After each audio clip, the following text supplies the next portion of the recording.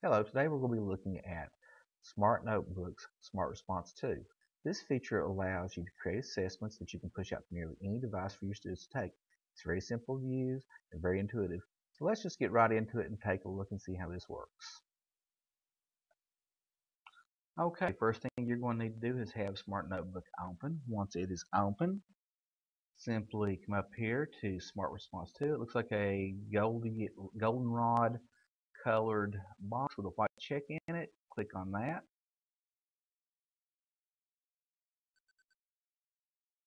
Once it opens, you have your choices.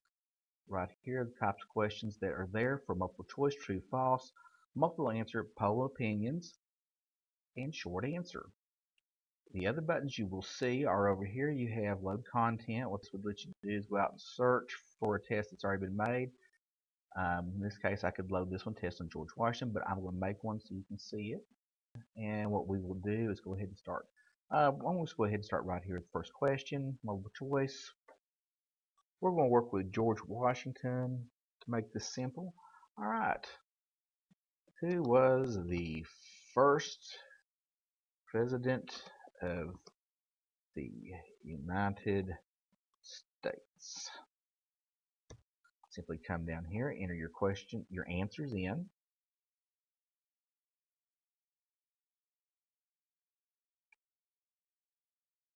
Donald Trump. Abe Lincoln. Barack Obama.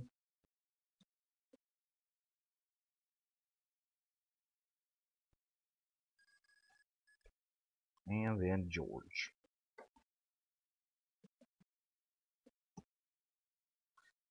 Select the right answer, click on add question, move on, it moves you on. If you accidentally click on next, what happens is it moves you towards ending the test and starting it for the students to take it. Don't worry about that. You can always hit on previous if you do that and go back. Now, what we're going to take and do is we're going to look at a different question. We're going, real quick, we'll do a true and false question. George Washington was in the French Indian War. Go ahead and leave that true as it's marked. Add another question. This will be a multiple answer question. This way you can take and have more than one right answer. Where we want to go? George lived in blank and his home was named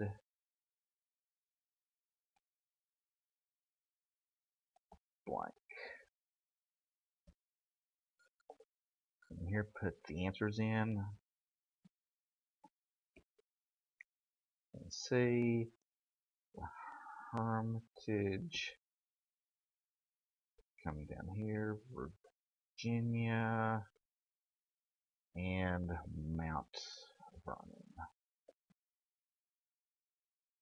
Go ahead and click on the two right ones, remove the wrong right there, and then click on Add Question. Next question to create is a poll opinion was George Washington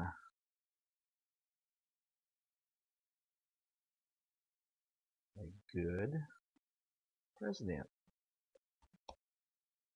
At this point, students have given the choices for the poll. Yes, no, I don't know click on add question move along. As you can see it doesn't give you anything to mark for correct answers since this is a poll or opinion. There are no correct answers. We will click add question. And the last question that you can do is a short answer. So I'm going to put in who was George Washington wife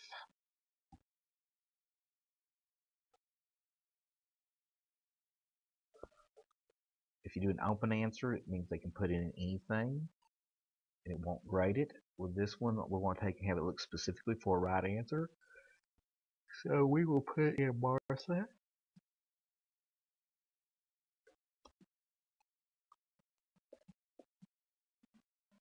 And click on next since we're through. Before clicking on, I'll show you some things right up here. This is where you can load in the test. We saw that at the beginning. You do have this comes up. We can go ahead and save this, and you can go ahead and click this and delete everything you've done. One thing I also advise you to do is to save this template as you created it, and by doing that, all you have to do is go to File. Oh, well, while this is up, in this mode we can't save it, so we'll click on Next. This will you to review, put in your title,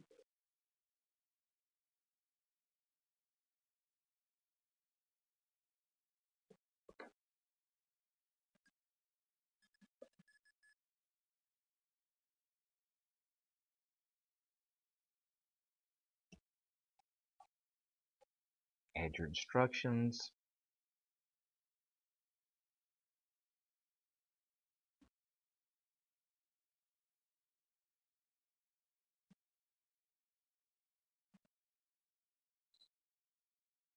Once you've done this, you click on finish because you are finished. And it will create the smart lab. And there it is one thing about when you get to this point that I advise doing is coming up here to File, Save As, give this a name. I'm just going to take and go ahead and call it Georgia Review right there, replace that one. Save. And it saves that, and now you've got it. So you have to worry about losing it.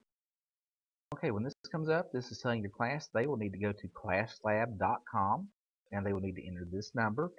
I'm going to go ahead and bring up my class lab. As you can see, I was already in it playing. Let me go ahead and get it.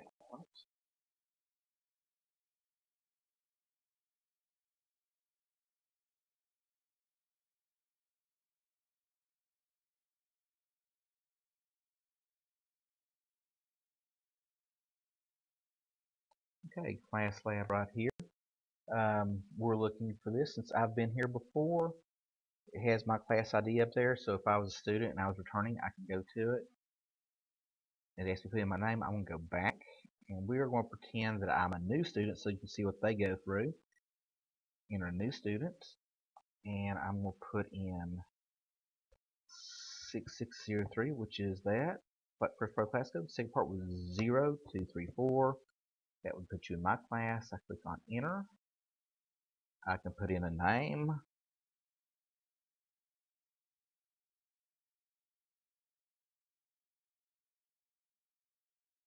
Luke Skywalker, and I'm going to join the class.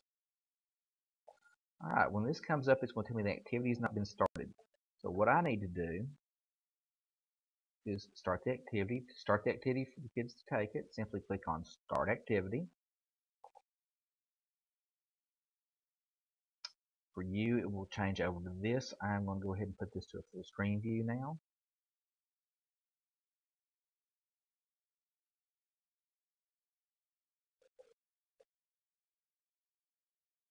So you can see everything. My test started. This is everything here. For me to get everything going, clicked on that. The activity is running. If I don't want students turning in any answers just yet, I can click on Pause Contributions. They can't click on answers. won't submit. So once we can do that, stop and talk to the kids, make sure they're paying attention. So click on resume. And I'm going to go ahead and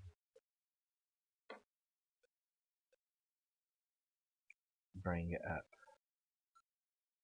Test and I will start as the students would. All about George Washington. Complete all questions and submit. Okay is you can go through, answer the questions, click on one, it will highlight, move to the next question by simply clicking on the arrow.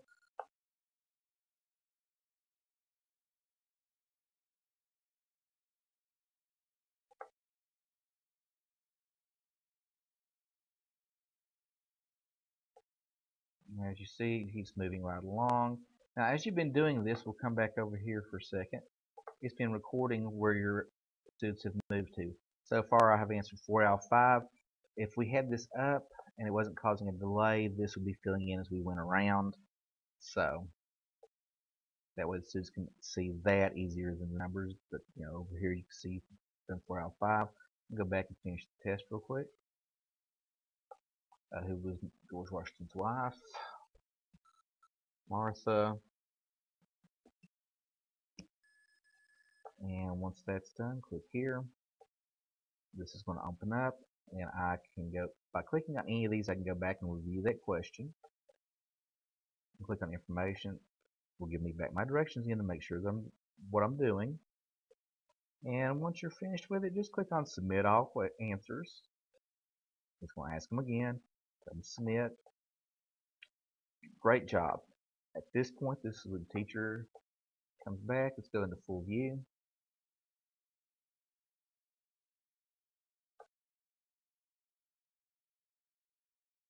And she, the teacher will end the test for activity.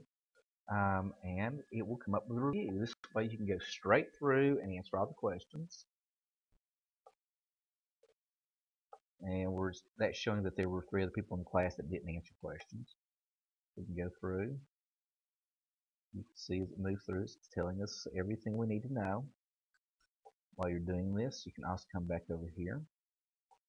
At any time, you can end the review, or you can reset the activity. Now we've gone all the way through it. We've seen everything. We are going to end review. We'll reset the act and before I reset the activity, I'm going to come down here and I want to export the results. What this will do is it will put a file out. Um, it's a spreadsheet file. This file can be opened by Excel or by Google Sheets. So you can use either one to open it and read. The only thing you'll have to do is save it to your Google Drive so you can open it that way. But simply let it save and you have a copy of it. And from that copy, I'll go ahead and bring up one I've already opened. Able to see how everybody did. This way you can record what the students' grades are and keep it for your gradebook. I highly recommend use this as a review tool. Sometimes you may not want to use Kahoot or Socrative it all depends on what you're doing to choose the right tool for the right time. If you have any questions on this, please contact me or your school's ITR team. Thanks and have a great day.